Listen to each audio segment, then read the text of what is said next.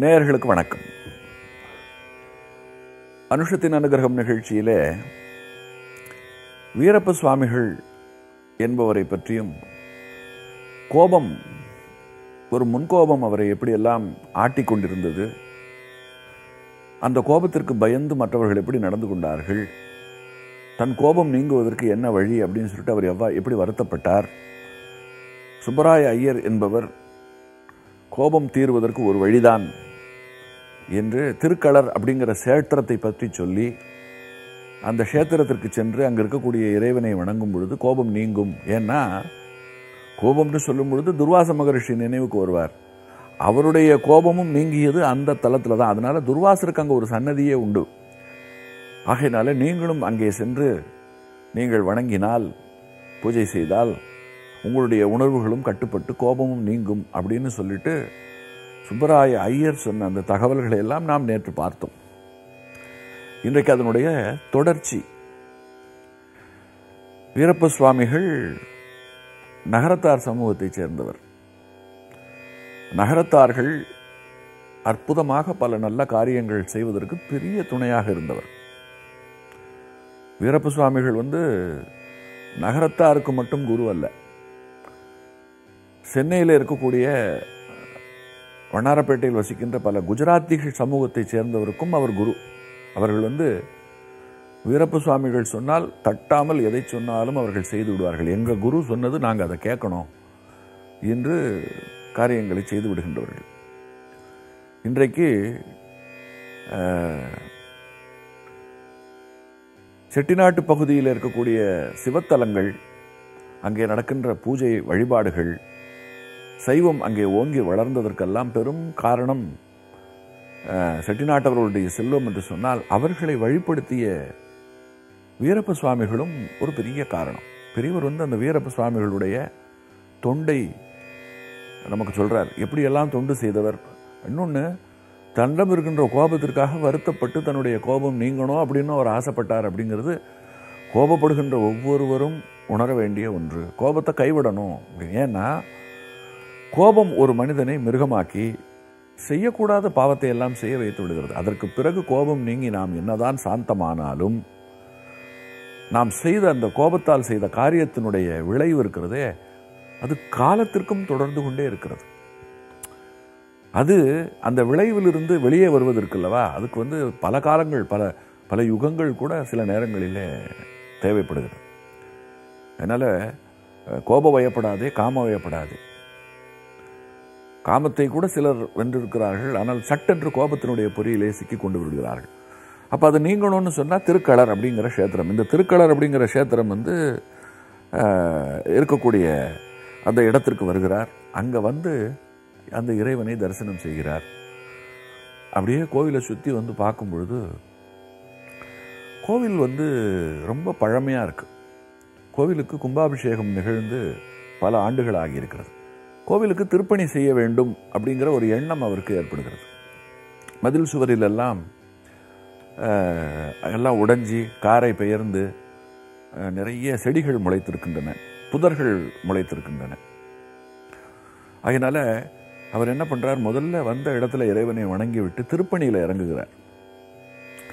புதர்களை எல்லாம் நீக்கி மதில் சுவரை சரி செய்து வெள்ளையடித்து அதே போல் கோபுரத்தை சீர் செய்து எல்லாம் செய்கிறார் கூடுதலாக ஒரு முக்கியமான விஷயம்.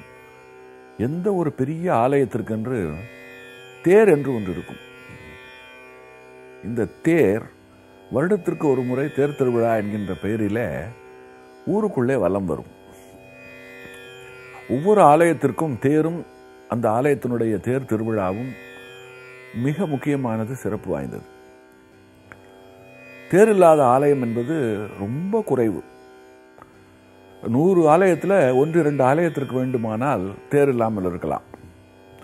அதுவும் இந்த ஊர் அமைப்பு இருக்கிறது அல்லவா? அதன் காரணமாக தெருக்கள் இல்லாமல் இருக்கலாம். அப்போ கூட சின்ன தெருவாக இருந்தால் அதற்கு தகுந்தாற் போல சிறிதாகவாது ஒரு தேரை செய்து வைத்திருப்பார்கள். அந்த தேர் ஓடுவதற்கு என்று ஒரு குறிப்பிட்ட நாளையும் உருவாக்கி வைத்திருப்பார்கள். ஏன்னு சொன்னால் மற்ற நாளில் எல்லாம் இறைவன் கோவிலுக்குள் இருக்கிறான். அவனை ஊரில் இருப்பவர்கள் உள்ளே சென்று பார்க்க வேண்டும். இந்த தேர் திருவிழாவின் பொழுது இறைவன் தேரேறி வெளியே வந்து அவன் மக்களை சந்திக்கிறான். இந்த சந்திப்பு இருக்கிறதே கோவிலுக்கு வர முடியாதவர்களுக்கெல்லாம் ஒரு பெரிய வாய்ப்பு. எத்தனையோ உடல் ஊனமுற்றவர்கள் இருப்பார்கள். நடக்கக்கூட சக்தி இல்லாதவர்கள் இருப்பார்கள். அவர்கள் மட்டுமல்ல பல உயிர்கள் இருக்கிறது. ஒரு ஊருக்குள்ள மனிதன் மட்டுமா வசிக்கிறான். பல மாடுகள் ஆடுகள் கன்றுகள் நாய்கள் இப்படி எத்தனையோ உயிரினங்கள் வசிக்கின்றன. அவைகளுக்கெல்லாமும் அருள வேண்டும். அப்போ எல்லா உயிரினங்களையும் அருள்வதன் பொருட்டு இறைவன் தேரேறி தெருவில் வருகிறான் அப்படிங்கிறது பொருள். இன்னொன்று இந்த தேர் திருவிழாவை ஒட்டி ஒரு விதிவிலக்கான செய்தியும் ஒன்று உண்டு. என்னன்னு சொன்னா இந்த தேர் இழுக்கும் பொழுது தீட்டு என்பதே கிடையாது.